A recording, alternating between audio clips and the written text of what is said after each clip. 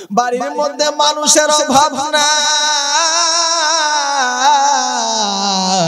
বাড়ির মধ্যে মানুষের অভাব নাই। এরপরেও মা যদি বাড়ি সাইরা কোথাও চলে যায় মা দুকিনি বাড়ির মধ্যে না থাকলে মনে হয় এই বাড়িটা যেন ফাঁকা হয়ে আছে। মনে হয় এই বাড়িটা যেন ফাঁকা হয়ে আছে। বাড়ির মধ্যে কোনো মানুষ নাই। কিন্তু মুসলমান বন্ধু দিলটাকে নরম করো, মনটাকে নরম করো, আর মনটাকে বুঝাও না রে মন। মাকে অনেক কষ্ট দিছি, বাবাকে অনেক কষ্ট দিছি। মা, তোমার কেমন পাবে আপন? বাবা, তোমার কেমন পাবে আপন? এ বন্ধু, আমার প্রবাসী ভাই, বউয়ের কথা শুনিয়া সারাদিন কাজ করো, কষ্টের কাজ করো, কষ্ট করিয়া রাত্রেবেলা বাড়ির মধ্যে আসিয়া যখন কোনো খারাপ কথা শুনে, আমার প্রবাসী ভাইয়ের কানের মধ্যে যখন কোনো মায়ের বদলাম শুনে, ওই যুবকের মন তো ঠিক থাকে না, ওই যুবকের মনটা খারাপ হয়ে যায় কেন কেন? সারাদিন কাজ করি, রাত্রেবেলা আসিয়া যখন বাড়ির কোনো নিউজ শুনি, খারাপ মন্তব্য শুনি, ওই মেজাজ গরম করিয়া যুবক বাবার সঙ্গে খারাপ আচরণ করে। মায়ের সঙ্গে খারাপ আচরণ করে। এ বাবাজি, ওই যুবক না বুঝিয়া বাবার সঙ্গে খারাপ আচরণ করে, মায়ের সঙ্গে খারাপ আচরণ করে। এ প্রবাসী ভাই, তুমি যখন বিদেশ থেকে বাড়ির মধ্যে আসবা, দেখবা, বাস্তব পরীক্ষা করে দেখবা। তুমি বাড়ির মধ্যে আসার পরে তুমি ফোন দিয়া জিজ্ঞাসা করবা এ ভাই, তোমার কি লাগবে? ভাই বলবে, ভাই রে, আমার জন্য টেলিফোন মোবাইল লাগবে, আমার জন্য আইফোন মোবাইল লাগবে। তোমার বোন বলবে, মানি ব্যাগ লাগবে।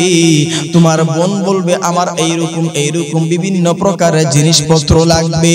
সন্তান বলবে, বাবা, আমার গাড়ি লাগবে। তোমার বিবি বলবে, আমার শাড়ি লাগবে। এ যুবক, তুমি প্রবাসী ভাই, প্রবাসী থাকো। যখন বিদেশের বাড়ির মধ্যে বা বিদেশ থেকে যখন বাড়ির মধ্যে আসবা, দেখবা তুমি যখন বাড়ির মধ্যে পা রাখবা, তোমার বোন তাকাইবে তোমার বিটকিসের দিকে, তোমার বিবি তাকাইবে, তোমার বেগের দিকে তুমি তোমার বিবির জন্য কি আনছো? তোমার ভাই তাকাইবে তোমার হাতের দিকে, তোমার ভাইয়ের জন্য মোবাইল আনছো কিনা? কিন্তু পৃথিবীর বুকে এমন দরদি মা। ওই মা কেমন দরদি মা, তোমার বেগের দিকে তাকাইবে না পিটকিসির দিকে তাকাইবে না। এ তোমার মা তোমার বেগের দিকে তাকাইবে না। তোমার মা তোমার হাতের দিকে তাকাইবে না। তোমার মা তাকাইবে তোমার চেহারাটার দিকে। তোমার চেহারা যদিও শুকায়া গেছে, তোমার চেহারা যদিও মোটা, তুমি সবল। তোমার চেহারা দেখতে বড় সুন্দর। কিন্তু মা বলবে বাবা রে জরায়া ধরবে বেগের দিকে তাকাইবে না, আর বলবে, বাবা, তোমার চেহারাটা শুকায়া গেছে। এ বাবা, আয় আয় সন্তান আয় বুকে বাবা, তুই খেয়ে বাবা, তোর চেহারাটা শুকায়া গেছে।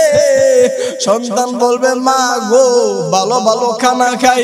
ও মা, আমার স্বাস্থ্যটা বড় ভালো। এরপরও মা বলবে, রে বাবা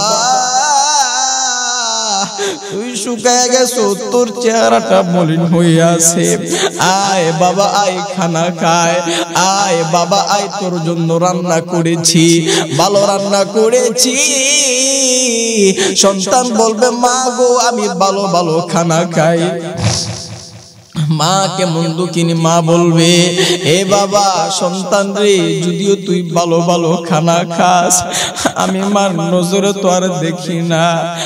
আয় আয়, আমি মা গলা দিয়া তোকে খাওয়াইব। সন্তান যদিও বড়,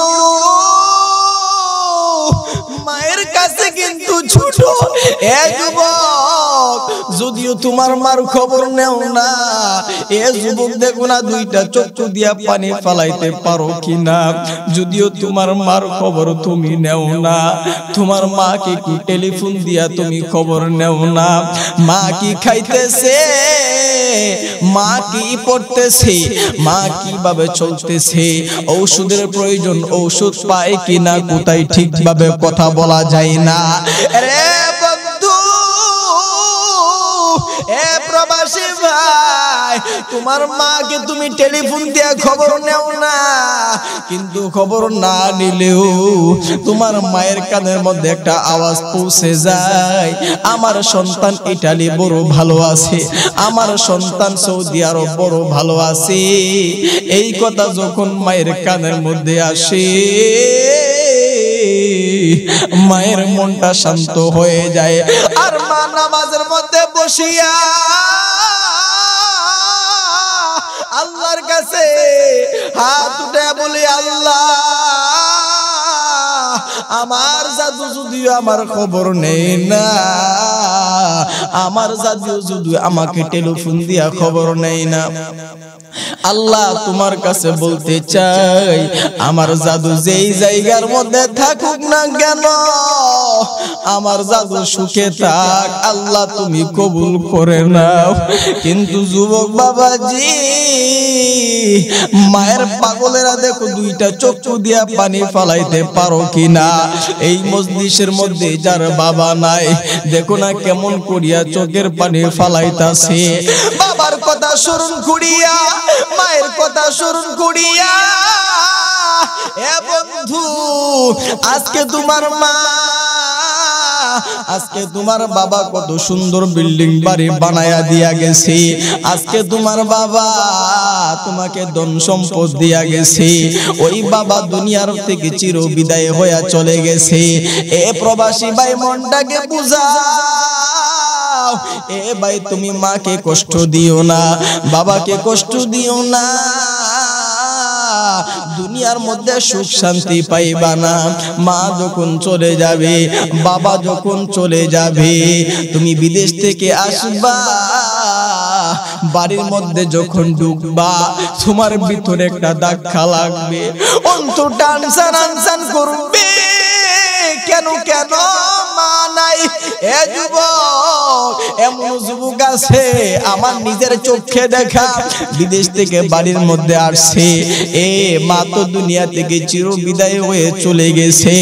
বাড়ির মধ্যে আসিয়া গেটটা যখন ফাঁকা কইরা যখন বাড়ির মধ্যে ঢুকলো, ঢুকার পরে সবাই তো ভালা পোড়া জিজ্ঞাসা করতেছে, স্ত্রী আইসা ভালা পোড়া জিজ্ঞাসা করতেছে, কিন্তু মনের ভিতরে কেমন জানে মধুর ডাক মা। ওই মার কথা স্মরণ কইলে কলিজাটা ফেটে যায়। যুবক বাড়ির মধ্যে আইসা দেরি করে না। বাবা কে বলে বাবা গো? আপনি তো বেঁচে আছে আমার মা কবরের মধ্যে শুয়ে আছে। বাবা খানা খাব না। মায়ের কবরে চলো মায়ের কবরটা জিয়ারত করব। মার কবরে যাইয়া মার কবরের মধ্যে আস্তায়া খাপ খামসায়া। কান্দে আর বলে, মাগো, হাউ মাউ করে কান্দে, কোনো কাজে আসবে না। মা তো দুনিয়ার মধ্যে নাই, মা দুনি, মা দুঃখিনী দুনিয়ার মধ্যে নাই। মা দুঃখিনী দুনিয়ার মধ্যে থাকতে কদর করো, হাত থাকতে হাতের মর্ম বুঝো। নবীর একজন সাহাবী, নবীর দরবারে যাইয়া বলে, ইয়া রাসূলুল্লাহ, ইয়া হাবিবাল্লাহ, নবী আপনার দরবারে এসেছি। আমার নবী ডাক দেয়া বলে, সাহাবী রে, আমার দরবারে আসছো ভালো কথা। কেন কেন, কি বলবা বলো? ওই সাহাবী ডাক দেয়া বলে, ইয়া রাসূলুল্লাহ ইয়া হাবিবাল্লাহ, আমি ইসলামের পক্ষে কথা বলতে চাই, আমি ইসলামের কাজ করতে চাই নবীজি। ইসলাম ধর্ম যেহেতু গ্রহণ করলাম, ইয়া রাসূলুল্লাহ নবীজি গো, ও নবীজি, আপনার কাছে বলতে চাই, আমি কোরআনের পক্ষে কথা বলতে চাই নবীজি। আপনার পক্ষে কথা বলিয়া ইসলামের পক্ষে কথা বলিয়া জিহাদের ময়দানে যাইয়া যদি আমি শহীদ হয়ে যাই হাদিসের বাসায়, আপনার কথা অনুযায়ী জান্নাতের মধ্যে চলে যাব। নবীজি গো, আপনার কাছে বলতে চাই, আপনার অনুমতি নিতে চাই। আমার নবীজি ডাক দেয়া বলে সাহাবী রে দুনিয়ার মধ্যে কে আছে? তোমার বাবা আসেনি, আমার সাহাবি ডাক দেয়া বলে, নবীজি গো, এই দুনিয়ার মধ্যে আমার বাবা নাই, এই দুনিয়ার মধ্যে আমার একটা ভাই নাই, আমার বোন কেউ নাই, এই দুনিয়ার মধ্যে আমার মা ছাড়া আর কেউ নাই। আমার নবীজি বলে, সাহাবি রে, জিহাদের ময়দানে যাবা, শহীদ হয়ে যাবা, হাদিসের বাসায় জান্নাতের মধ্যে চলে যাইবা। কিন্তু তোমার মা আছে, তোমার মা যদি শহীদ হয়ে যাও, তোমার মা যেহেতু একা, পানির প্রয়োজন তোমার মা কার কাছে যাবে? তোমার মার ঔষধের প্রয়োজন তোমার মা কার কাছে যাবে? তোমার মার পানির খাবারের দরকার তোমার মা কার কাছে বলবি? এরে সাহাবি, তোমার জিহাদের ময়দানে যাইতে হবে না। তোমার যেহেতু বাবা নাই, তোমার যেহেতু বোন নাই, তোমার যেহেতু কোনো একটা ভাই নাই, তোমার তোমার সাথী বন্ধু কেউ নাই, তবে তোমার মাকে দেখনেওয়ালা কেউ নাই। যাও যাও যাও, আমি নবী আদেশ করলাম, যাও তোমার মায়ের খেদমত করো গিয়ে। ওই সাহাবি নবীজির কথা শুনিয়া আর দেরি করল না, চলে গেল মায়ের দরবারে। মার খেদমত শুরু করল। আর নবীজি একটা কথা বলছি, এরে আমার সাহাবি, মায়ের পায়ের নিচে আমার আল্লাহ রাখছেন জান্নাত। জুড়ে বলেন, সুবহানাল্লাহ। মায়ের খেদমত করো। মা যদি তোমার প্রতি সন্তুষ্ট হয়। এ বন্ধু রে, তোমার কোনো ভয় নাই, তোমার কোনো টেনশন নাই, তোমার কোনো প্যারেশান হওয়ার দরকার নাই। এ সাহাবি, তোমার কোনো ভয় নাই, অল্প আমল করলেও মা সন্তুষ্ট থাকার কারণে আমার আল্লাহ তোমাকে শহীদি মর্যাদা দিয়া, আমার আল্লাহর তৈরি জান্নাত তোমার জন্য অপেক্ষা করবে। আওয়াজ দিয়া পড়েন সুবাহান রে আজকে বর্তমান সমাজের মধ্যে দেখা যায়, যুবক নামাজ পড়ে, যুবক দান সৎকা করে। আরে যুবক বন্ধু বিশেষ করিয়া তোমার জন্য এই বয়ান। তুমি কি করো? দান, সৎকা করো জাকাত দাও, তুমি হজ করো। পাঁচ ওয়াক্ত নামাজ পড়ো, অনেকে পড়ে অনেকে পড়ে না। বাবাজি গো, নামাজ কবুল হওয়ার জন্য, সাদাকা কবুল হওয়ার জন্য, এ যুবক বন্ধু রমজান মাসে রোজা কবুল হওয়ার জন্য। গো এই কবুল হওয়ার শর্ত হইল তোমার মা বাবা। তোমার মা বাবা তোমার প্রতি যদি অসন্তুষ্ট হয়, তোমার দান করে কোনো লাভ হবে না, তোমার সৎকা করে কোনো লাভ হবে না, তোমার ওই নামাজ কোনো কাজে আসবে না। আর যদি মা বাবা তোমার প্রতি সন্তুষ্ট থাকে তোমার কোনো ভয় নাই টেনশন নাই। অল্প আমল করলেও আমার আল্লাহ মা বাবা সন্তুষ্ট থাকার কারণে আমার আল্লাহ তোমার ঠিকানা করে দিবে জান্না আর দুনিয়াটা আমার আল্লাহ মায়ের দুয়ার বরকতে, বাবার দুয়ার বরকতে আমার আল্লাহ তোমার এই দুনিয়াটার মধ্যে আমার আল্লাহ তোমাকে চমকায়া দিবে। কথা বলেন ঠিক না বেঠি গভীর মনোযোগ, মনটাকে নরম করো, দিলটাকে নরম করো। এই মজলিসের মধ্যে এমন কেউ আসো যার বাবা নাই, যার মা দুঃখিনী দুনিয়ার মধ্যে নাই। আহারে, এতিমের মতন অনেকে বসে আছে যার বাবা দুনিয়ার মধ্যে নাই, মা দুনিয়ার মধ্যে নাই। মা কেমন মধুর ঢাক, বাবা কেমন মধুর ডাক এই মজলিসের মধ্যে যার বাবা আছে, আবার যার সন্তান আছে, বাবা সন্তান আঙ্গুলের সাথে আঙ্গুল মিলাইয়া, হাতের সাথে হাত মিলাইয়া এই মজলিস থেকে বাড়ির মধ্যে ফিরবে। আবার এমন যুবক আছো, তোমার বাবা দুনিয়ার মধ্যে নাই, তোমার মতন অসহায় আর কেউ নাই। তোমার মা দুনিয়ার মধ্যে নাই, তোমার মতন দুঃখী আর কেউ নাই। যার মা দুনিয়ার মধ্যে আছে, তার মতন সুখী আর কেউ নাই। দেখবেন, আমরা দেখা যায়, বাড়ির মধ্যে যাওয়ার পরে বিবি আছে, সন্তান আছে। বাড়ির মধ্যে যাওয়ার পরে বোন আছে, ভাই আছে। এ বাবাজি, মনটাকে নরম করো। দিলটাকে নরম করো, দিলের কান লাগায়া কথাগুলি শুনো। বাবাকে কষ্ট দিছো, মাকে কষ্ট দিছো। মুসলমান বন্ধু, খুব খেয়াল করে কথাগুলি শুনতে হবে। বাবাকে কষ্ট দিছো, মাকে কষ্ট দিছো। এই জায়গার মধ্যে, অনেকে এই জায়গার মধ্যে বসে আছো। আমরা দেখা যায় বাড়ির মধ্যে যাওয়ার পরে আমাদের বোন আছে। আমাদের ভাই আছে। দেখবা তোমরা বলো, আমি বলো। আমরা যখন বাড়ির মধ্যে যাই, বাড়ির মধ্যে যাইয়া প্রথমে দৃষ্টিগুণ দেখা, প্রথমে নজর দিয়া দেখতে চাই, আপনার আমার মা দুঃখিনী। মা যখন বাড়ি সাইরা কোথাও বেড়াইতে যায়, বাড়ির মধ্যে যাইয়া দেখি আপনি বলেন, আমি বলেন। বন্ধু, দাঁত থাকতে দাঁতের মর্ম বুঝো। মা, তোমার জন্য কেমন নিয়ামত? এ যুবক বাবাজি, ধন সম্পদ চলে গেলে ধন সম্পদ পাইবি। এ বন্ধু, বাড়ি চলে গেলে বাড়ি পাইবি। টাকা চলে গেলে টাকা পাইবি। এ বন্ধু, বিবি চলে গেলে বিবি পাইবি। এ যুবক মা চলে গেলে মা পাইবি না, বাবা চলে গেলে বাবা পাইবি না।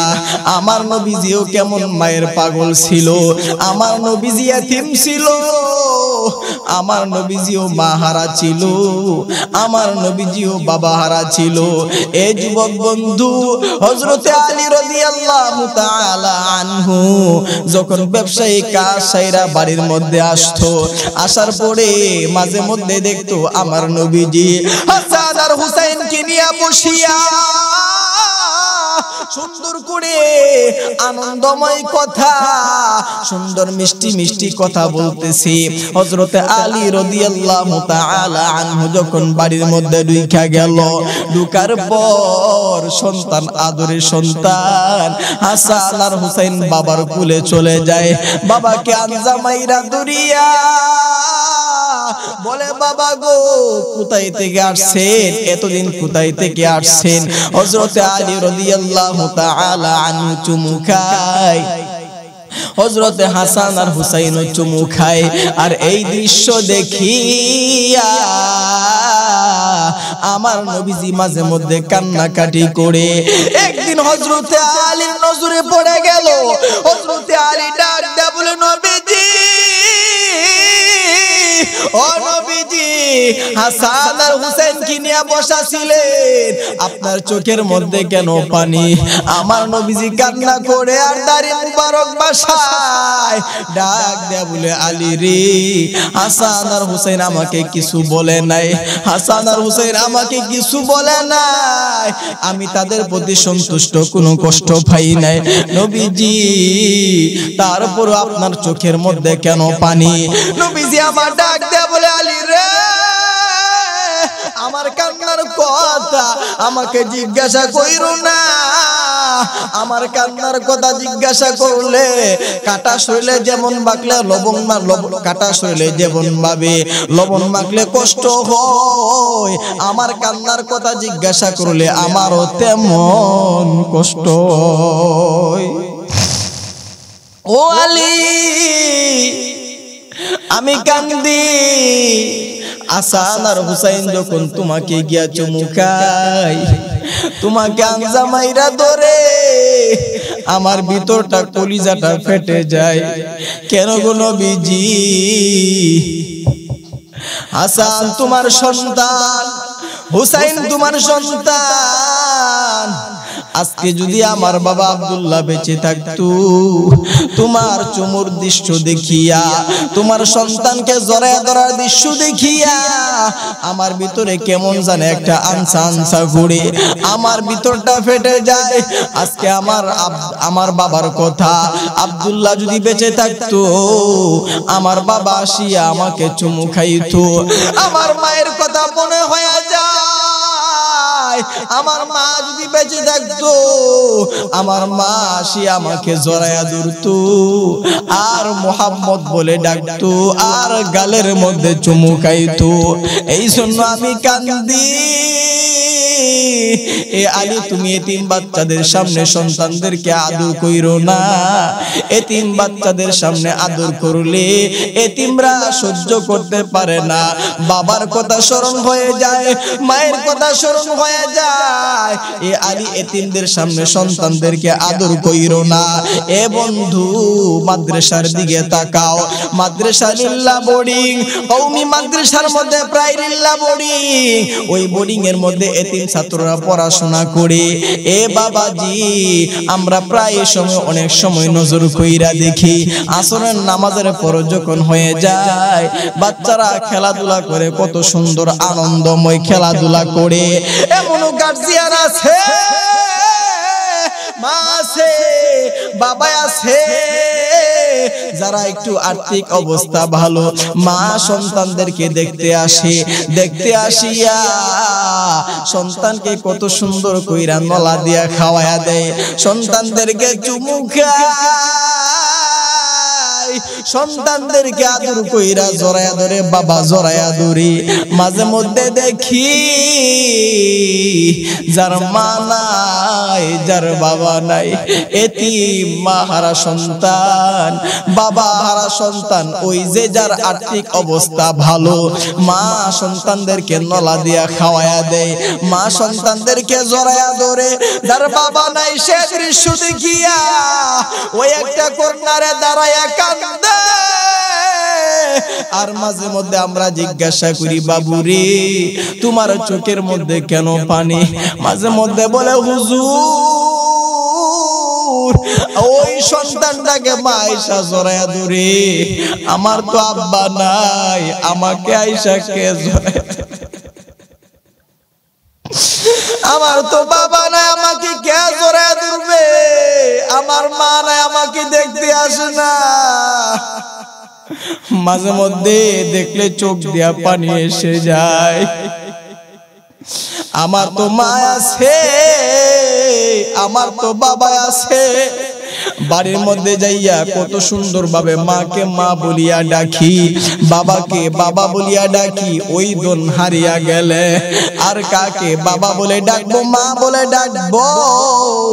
মাকে আর কষ্ট দিও না, বাবাকে আর কষ্ট দিও না। এরে যুবক, মনটাকে বুঝাও। একজন সাহাবী নবীজিকে যাইয়া বলে, ইয়া রাসূলুল্লাহ, ইয়া হাবিবাল্লাহ।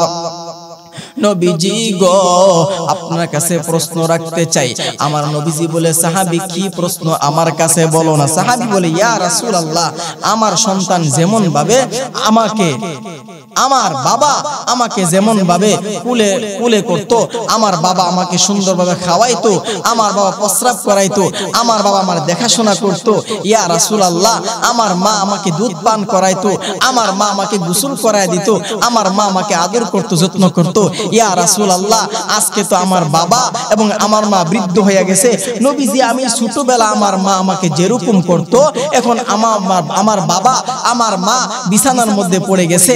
ইয়া রাসূলুল্লাহ, আমি আমার বাবাকে খেদমত করি, আমার বাবাকে আমি প্রস্রাব করাই। ইয়া রাসূলুল্লাহ, আমার বাবাকে আমি পানি খাওয়াইয়া দেই, আমার বাবাকে আমি গোসল করাই, আমার মাকে আমি প্রস্রাব করাই, আমার মাকে আমি গোসল করাই দেই, আমার মাকে আমি দুধ পান করাই, দুধ খাওয়াই। ইয়া রাসূলুল্লাহ আমার মাকে আমি খেদমত করি, খানা খাওয়াই। ইয়া রাসূলুল্লাহ, এখন আমার হকটা আদায় হবেনি। আমার নবী ডাক দেয়া বলে, সাহাবি, তুমি যে তোমার মার খেদমত করো, তোমার বাবার খেদমত করো, তোমার ভিতরে উদ্দেশ্য থাকে, আমার বাবা বৃদ্ধ হয়ে গেছে, আমার মা বৃদ্ধ হয়ে গেছে। ও আল্লাহ আমার বাবা কষ্ট না করো, আমার বাবা বিছানার মধ্যে গড়াগড়ি না করো। ও আল্লাহ, ইমানের হালতে আমার বাবাকে দুনিয়া থেকে নিয়ে যান। এই দোয়াটা তোমার জবান দিয়ে আসে। কিন্তু তোমার আমার মা, তোমার আমার বাবা তোমার জন্য দোয়া করি। আমার সন্তান আমার সন্তান বেঁচে থাক।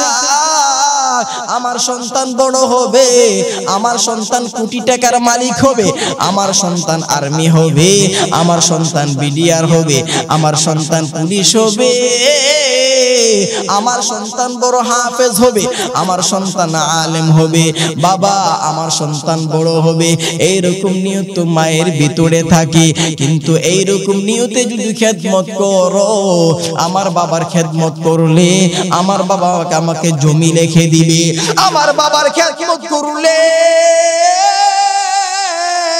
আমার বাবা বিল্ডিং এর মালিক বানায় দিবে। আমার মার খেদমত করলে, আমার মা আমাকে জিনিস দিবে। আমার মার গলার হাটটা স্বর্ণটা আমাকে দিয়ে যাবে। এই জন্য আমার আল্লাহ কোরআনের মধ্যে বলে, রব্বুকুম আলামু বিমা ফি নুফুসিকুম। আমি আল্লাহ অন্তরের খবর জানি, আমি আল্লাহ অন্তর জামি। ইন্নাহু আলিমুম বিযাতিস সুদূর। আমি আল্লাহ অন্তরের খবর জানি। তুমি সম্পদের লোভে, বাবা আমার খেদমত যদি করো, তোমার কোনো সোয়াব হবে না, সুতরাং আরও গুণা হবে। আল্লাহর হক আদায়ার্থে আমার আল্লাহর কোরআনের কথা অনুযায়ী মা বাবার যদি খেদমত করতে পারো, কোনো বই নাই, কোনো টেনশন নাই। আমার আল্লাহ বলে, বান্দারে, নামাজের পরে বাবা মার খেদমত করো, নামাজের পরে পিতা মাতার খেদমত করো। আমি আল্লাহ আদেশ রক্ষার্থী বাবা আমার খেদমত যদি করতে পারো, আমি আল্লাহ সাক্ষী হয়ে গেলাম, আমি আল্লাহ ঘোষণা দিয়া দিলাম। আমি আল্লাহ যদি তোমাকে জান্নাত দেই কেউ আটকাইতে পারবে না, আমি আল্লাহ তোমাকে জানায়া দিলাম।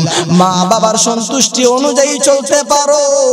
দুনিয়ার মধ্যে তোমাকে আলোকিত বানাইয়া, দুনিয়ার মধ্যে তোমাকে চমকাইয়া, আর জান্নাতের মধ্যে তোমাকে আমি চমকাইয়া সর্ব উচ্চ জান্নাত তোমাকে দান করব।